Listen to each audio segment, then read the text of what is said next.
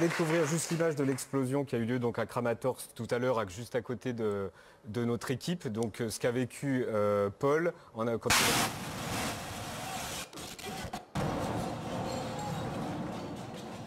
Donc j'avais pas vu l'image.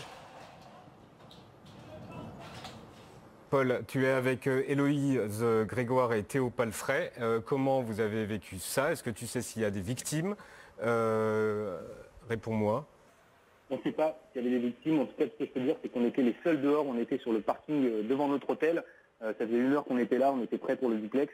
Et on ne sait même pas où c'est tombé exactement. On sait juste que c'était euh, très bruyant. On avait de la poussière plein les yeux et plein la bouche. Le, le- une partie de l'entrée de l'hôtel s'est écroulée sur nous. Les vitres ont volé en éclats.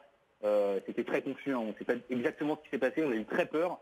Mais euh, on est tous en sécurité maintenant. On va bien. On a encore un peu les mains qui tremblent. On est en, en état Bah de choc. Mais, euh, mais on s'en est tiré.